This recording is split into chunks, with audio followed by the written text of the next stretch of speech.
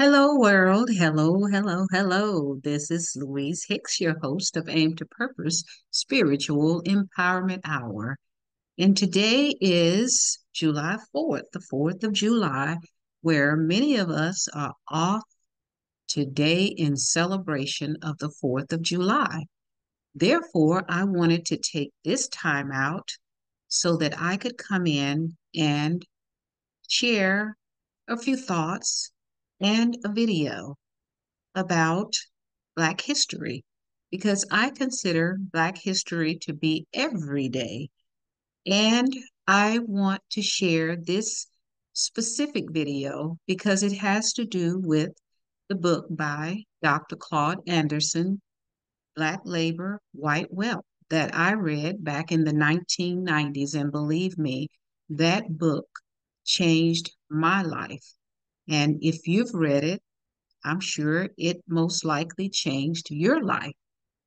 Therefore, today, I hope that we as Black people are reflecting on what today means to us because 4th of July, 1776, the slaves were looking to be free. And I'm sure if you know your history, you've heard of Nat Turner, and he was a rebellious slave who was insistent that he was going to be free. Therefore, he led a rebellion. So go and check out your history. But for now, I just want to share this video in hopes that you took your day today, if you were off, to reflect and to work on your independence because that's what we should be working on our independence.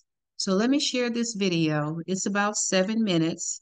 And once you watch this video, please do some reflection on your independence, our independence as a Black community. Here we go.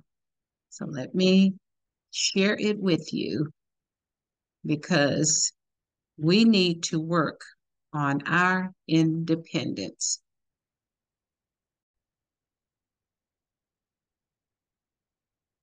So watch with reflection. What's up, family? It's Caden with Urban Finance. It is Black History Month, my favorite month of the year. All of our videos for this month will focus on Black history, but with a focus on economics, personal finance, and inspirational content. Today we are going to be doing a book review of Black Labor White Wealth by Dr. Claud Anderson. If you haven't already, please hit the like button and subscribe to our channel to support the page. Leadership. Humans, like all order of life, seek leadership and find it naturally. The power and resources disparity between blacks and whites has caused blacks to have different standards for selecting, developing, and recognizing leadership. Leaders are individuals who can induce others to cooperatively work towards certain goals that represents the values and motivation of both leaders and the followers. The goal of forming new black leadership is to acquire for blacks in this lifetime economic justice, wealth, power, and equal employment of the rewards and benefits of the American dream. Black people are failing at empowering the community because in a competitive society, there are no mechanisms to give voice to unorganized and inarticulate groups. The black community must develop systems and institutions that are focused on developing black leaders. Unless a serious focus is placed on developing black leaders, black people in America will remain uncompetitive in every sphere of influence and power. Point two unjust distribution of wealth. The root of the problems for black advancements in America is the unjust distribution of our national wealth, power, and resources. Whites own almost 100% of our nation's wealth, power, business, and all levels of government support and resources. This monopoly was created from centuries of exploitation and expropriation of slavery and black labor. A slave life was committed to producing wealth and comfort for their white master. Black people learned very quickly after slavery that unless you have money and power, your freedom is only theoretical. Black people would have a very hard time pulling themselves up by their bootstraps because local ordinances and social sanctions in the North and South restricted free blacks from earning competitive incomes. The socioeconomic inequalities that existed between white and blacks during and shortly after slavery have now become structural problems that are very difficult to dismantle. Point three doctrine of unequal exchange. The doctrine of unequal exchange is the practice of unbalanced socio-economic trade in which weaker parties foolishly trade or are tricked into trading their valued goods, services, or properties for money or items of far less value than what the stronger party is trading. It wasn't only Africa's human capital that was being displaced through slavery. During the same time, its material wealth was also being stolen by Arabs and Spanish Portuguese merchants and traded for low value fabric items such as iron brass, rings, religious artifacts, and used firearms. In exchange, Africa gave some of its most valuable commodities, such as gold, silver, quality leather, long cotton, art objects, black slaves, and ivory. This massive displacement of Africa's human capital and natural resources weakened West Africa's social and economic institutions, and we wish that we can say that things are different today.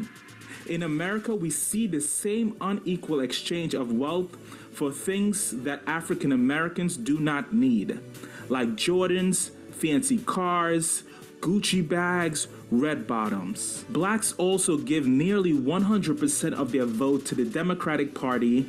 They are promised nothing, receive only photo ops, yet have remained loyal to party voters no matter what happens to them black people are still exchanging the best of their human capital and resources for little in return. The unequal exchange continues. Point three, the Black Civil Rights Movement. While the Civil Rights Movement had many successes, it had four specific flaws that we will call out today. First, our black leadership focused its entire effort on achieving integration. They believe incorrectly that by moving symbols of Jim Crowism and gaining access to white society, black people would gain equality. 2. Our black leaders failed in dealing with the problems that were caused by Jim Crowism, like the maldistribution and racist control of wealth, power, and resources in America. 3. There are no long term planned development for where and how black people were to proceed post civil rights era. Four, our black leaders fails to construct a national network of institution to train new generation of blacks who would assume the mantle of leadership and implement a national plan for black empowerment. The combined effect of these four major failures left black civil rights movement with no place to go, no way to get there, and no leadership to take. Blacks were involved in every aspect of the development of the American nation. We cleared the land and produced the crops. We raised the food and the children of white families. We fought in every war and developed the land expropriated from the American Indians. Black produced the wealth that whites in both the old and new world possessed and claimed to have achieved by the sweat of their brow. Although black people have contributed so much to this country, they have often been systematically barred from experiencing its benefit, except for a few chosen few, often selected by those with power. In essence, black labor exploitation is the foundation of all success in America today. Okay, family, thank you for watching. This concludes our review of Black Labor White Wealth by Dr. Claud Anderson. If you haven't already, please give this video a thumbs up and subscribe. Happy Black History Month, and as always, love you and live your best life.